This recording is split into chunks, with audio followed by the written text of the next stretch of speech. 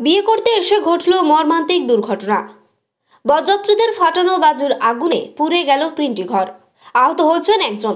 ঘটনাটি ঘটেছে রবিবার রাতে হরিশ্চন্দ্রপুর দু নম্বর ব্লকের দৌলতপুর গ্রাম পঞ্চায়েতের ইলাম গ্রামে। আগুনে পুড়ে ক্ষতিগ্রস্ত হয়েছে ইলাম গ্রামের বাসিন্দা শাহজাহান আলী এবং তার একমাত্র শোয়ার ঘর এবং একটি রান্নাঘর হেলাল আলীর একটি রান্নাঘর। অপরদিকে আগুন নেভাতে গিয়ে ছাদ থেকে পড়ে গুরুতর আহত হয়েছে বিশুয়া শেখ, বয়স পঁয়ত্রিশ বছর।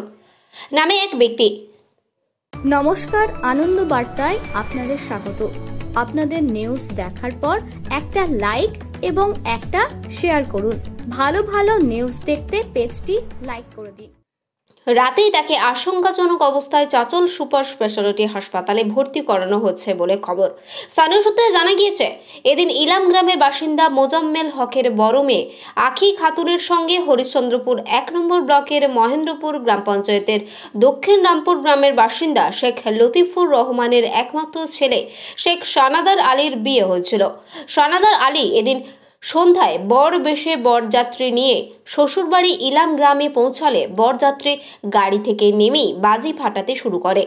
বাজি ফাটানোর সময় শাহজাহান আলীর বাড়ির ছাদে থাকা তাহানের খড় এবং পাট পাটকাঠিতে আগুন ধরে যায়। দাউ দাউ করে জ্বলতে থাকে বাড়ির ছাদ। নিমেষের মধ্যে আগুন ধরে যায় রান্নাঘরে। বরযাত্রীরা ভয়ে পালিয়ে গেলেও আগুন নেভানোর কাজে হাত লাগায় স্থানীয় লোকেরা। ফোন করা হয় তুলসীহাটা দমকল অফিসে। তৎক্ষণাৎ ঘটনাস্থলে পৌঁছায় দমকলের একটি ইঞ্জিন। ঘণ্টাখানেকের প্রচেষ্টায় আগুন নিয়ন্ত্রণে আনে দমকল কর্মীরা।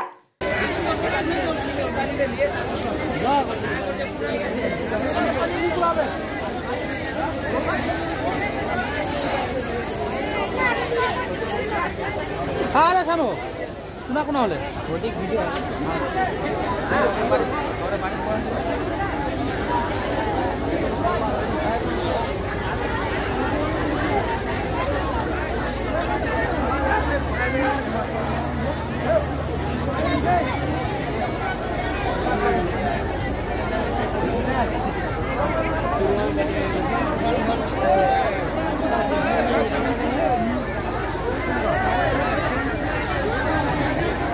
মালদা থেকে দেবাশিস পালের রিপোর্ট আনন্দ বার্তা